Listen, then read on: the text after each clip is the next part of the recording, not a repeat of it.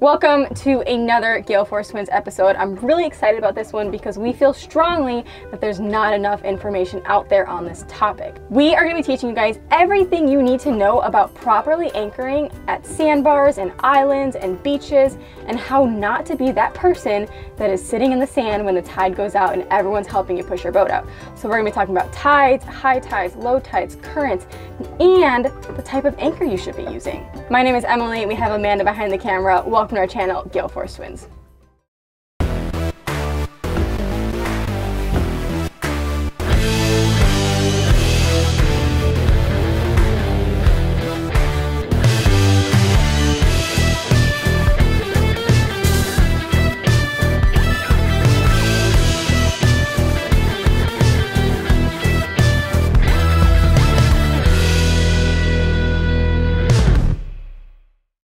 The first and very important concept that we're going to talk about is the tide.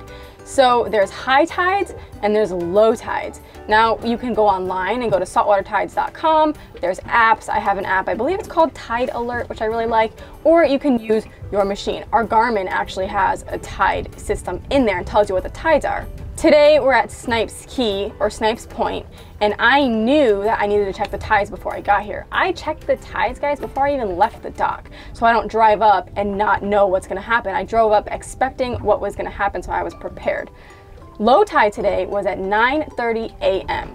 So that means that the next low tide is going to be around 12 hours after that, around 9.30, 10 o'clock p.m.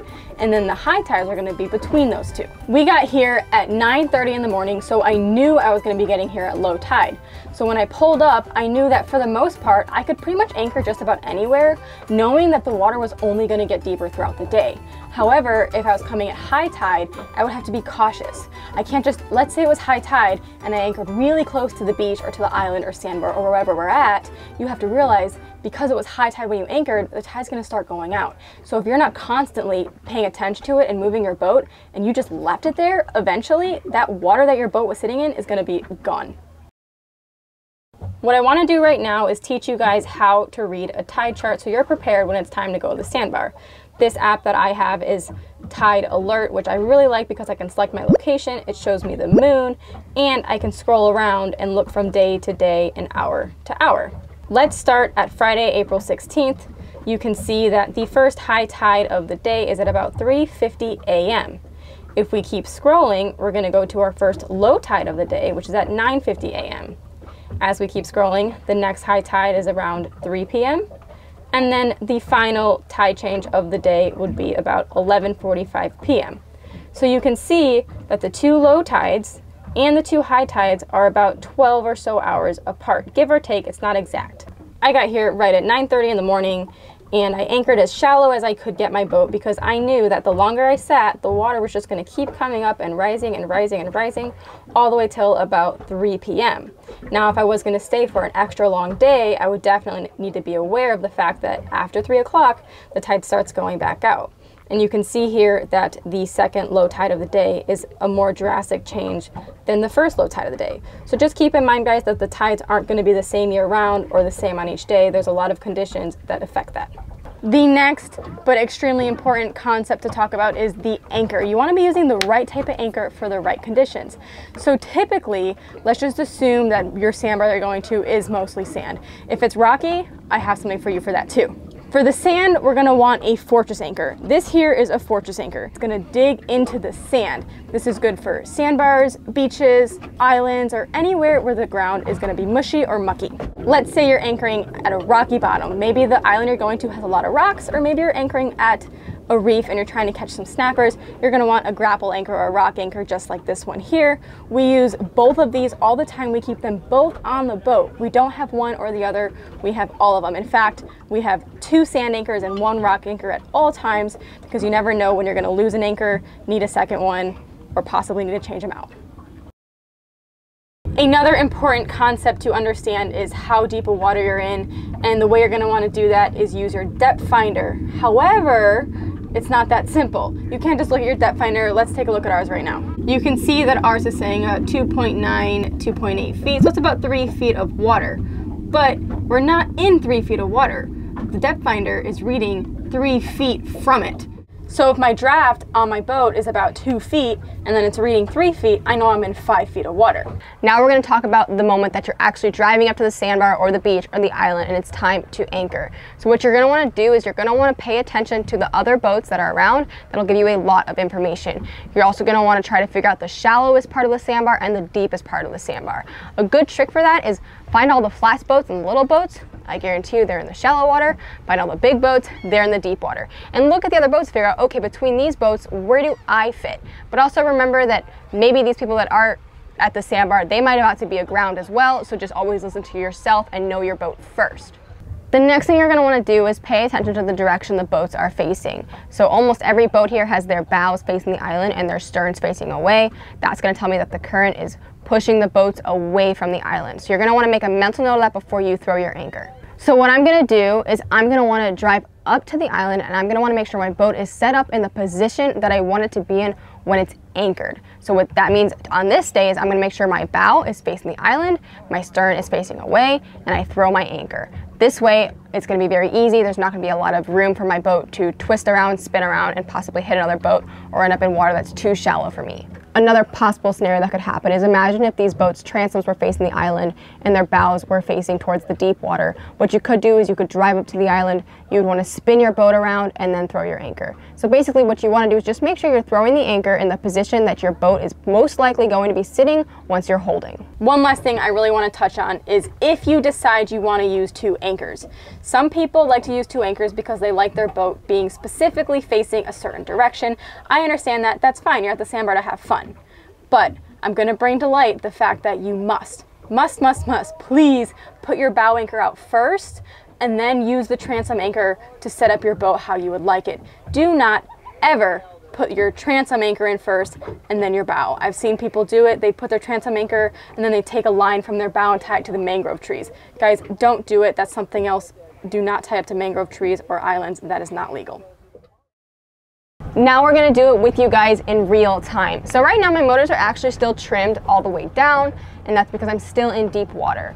And I'm familiar with the sandbar, I know where the deep water is, and for the size of my boat, which is a 32 with a two and a half foot draft, I'm gonna stay in the deep water as long as I can until I can't go any further and I need to start inching into the shallow water. Something else you might notice is I'm idling. I'm not flying in, I don't wanna run aground, I don't wanna hit the sandbar very hard. So as I'm idling in, I'm paying attention. I'm looking at a couple of things. I'm watching the depth on my machine, which right now it's telling me six feet were great. I'm looking at the other boats. What direction are they facing? I'm also thinking, what was the tide? How much room do I need? Is it dead low? Is it dead high? If it's dead high, you really want to be watching your boat and make sure you're not too high because that tide's going to go out fast and you'll be aground. If it's dead low, you have a lot more forgiveness. You can probably get pretty shallow and the tide's just going to come up and get deeper. Now, right now, I'm looking at the boats in front of me and I'm seeing that all of them are facing with their bows kind of toward the island at this point and their transom, it's almost like most of them are actually parallel with the island. So that's gonna tell me that that's probably what the wind and current is gonna set my boat up to do. So when I go to anchor, before I throw the anchor, I'm gonna want my boat in that position that I want it sitting in once it's anchored. I don't wanna come into the island this way, anchor, and then spin around and go that way. If I'm gonna be sitting this way, I'm gonna pull up, drop my anchor, and be right here. That way, you're not gonna be moving around and you're not gonna be putting the other boaters at risk. As you can see, I'm coming in nice and slow. I'm reading five feet on my depth machine, so that's getting shallower, four feet. Okay, so I'm gonna start slowing down. I'm gonna bump my boat in and out of gear, one throttle at a time. I'm also gonna trim up on the motors. Most likely, if your motors are trimmed all the way down, you're gonna probably hit your lower unit before you hit anything else in the sand. So that's the first thing you're gonna wanna trim up once you start getting into that shallow water. Now I only have one motor in a gear at a time. I'm just bumping them in and out of gear to control the boat, nice and slow. Right now my depth machine is reading three feet. So as it's reading three feet, I still know I'm probably in around five feet of water because I have a two and a half foot draft. So we're just gonna keep traveling nice and slow. I don't wanna get too close to these boats. We're probably one of the bigger boats here, so I know that they can go more shallow than me. Okay guys, the last thing I wanna do is point out somebody else's mistakes, but here you can see that boat just dropped their anchor with their transom facing the opposite direction of how their boat's actually gonna sit. So it's gonna take a lot longer for their anchor to set. Their boat's gonna spin around. As you can see, their boat is actually even starting to drift over their anchor line. So that's what I meant by making sure your boat is in the position that it's going to be sitting in once the anchor is holding. Their boat is exactly in the opposite position of what it's going to be sitting in with the anchor. So they threw the anchor when the boat was not in position and now it's going to take a minute for the anchor to hold. Hopefully that made sense when I said that that boat was coming in and dropping their anchor when they really weren't in position to drop their anchor and now their boat's spinning around. They're not holding yet. They're just sitting here waiting and waiting for the wind to grab their boat, which is going to put the other boaters at risk and anybody that's swimming by that may not realize that they're not holding. It's also telling me keep some distance because I don't know how much line they put out.